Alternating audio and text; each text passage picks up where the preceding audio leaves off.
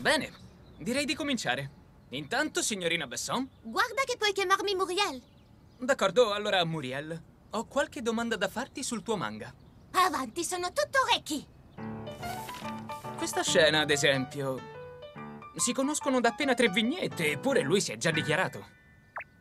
E che problema c'è, scusa? In quanto accanito lettore della saga Rose e Steroidi, permettimi di spiegarti la regola cardine di una commedia romantica. Quando l'amore viene ricambiato, l'80% della storia si è già conclusa. Stuzzicalo, stuzzica il lettore più che puoi. Stuzzicarlo, dici? Esatto. Puoi provare a rendere interessante il 20% che ti rimane, ma è una scelta pericolosa e complicata persino per i mangaka più esperti. Non riesco proprio a capire che cosa intendi. Che cosa? Se due persone si piacciono davvero, allora dovrebbero dirselo. Magari in questo modo, guardandosi negli occhi. O scambiandosi un bacio romantico. Je t'adore. Aspetta, aspetta, aspetta! In Francia funzionerà anche così, ma da noi le persone fanno molta più fatica a esprimere a qualcuno i propri sentimenti. Mm. Non riusciamo a essere così diretti neanche volendo. Inoltre c'è anche chi potrebbe sentirsi frenato da un dato evento del proprio passato.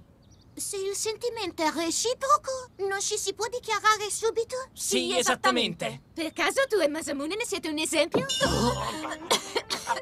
Ma, ma, ma, ma, ma si può sapere cosa ti ha saltato in mente, Muriel? Scusa, che tu parli troppo velocemente, non seguo quello che dici. Sto dicendo che non si chiedono certe cose. Ad ogni modo, devi prima comprendere come intendiamo il romanticismo. Non puoi far agire la protagonista come faresti tu. Hai capito? D'accordo, sì, ho capito. Ora ti mostriamo come si comportano i personaggi di una commedia romantica, perciò presta molta attenzione. Bene, io sono pronta, iniziate quando volete. Accidenti, dobbiamo proprio insegnarti tutto. D'accordo, allora tanto per cominciare... Per cominciare... Oh cielo, da cosa possiamo cominciare? Non hai pensato a cosa poterle mostrare, vero?